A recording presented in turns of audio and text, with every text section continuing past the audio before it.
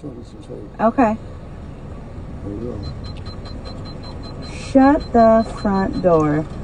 This guy's a genius. Let me try this though. Thank you. Have it, folks. Now let's see if it'll work. Oh my god, you hear it? It works. Sheesh, we got 51 minutes now. Let's go.